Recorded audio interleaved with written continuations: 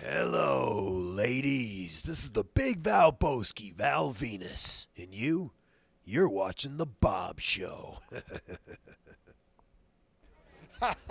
yeah, it's right. It is Brutus the Barber Beefcake, and you're watching The Bob Show. This is the mouth of the South, Jimmy Hart. And you're watching The Bob Show. Hey, this is Scotty Schwartz and the original diva of the WWE, Sunny. Finally. Smoking. Oh my God.